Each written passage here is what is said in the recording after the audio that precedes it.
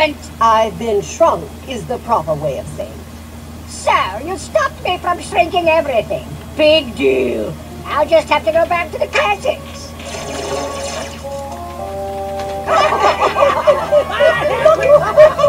well, this shrinks,